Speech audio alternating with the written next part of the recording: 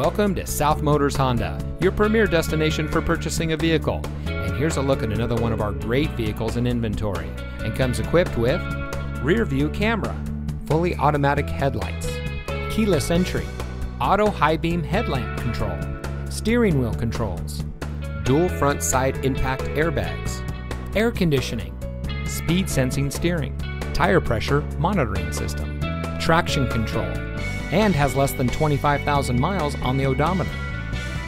South Motors was founded in 1956 on one principle treat every client like family. More than 60 years later, we are proud to say that we are still locally owned by the same family and we still follow that same family tradition. Our fully transparent shopping experience delivers the best up front, along with a complete vehicle history. And for additional peace of mind, we also offer a three day exchange policy and a financing program custom tailored to you. So come join the family.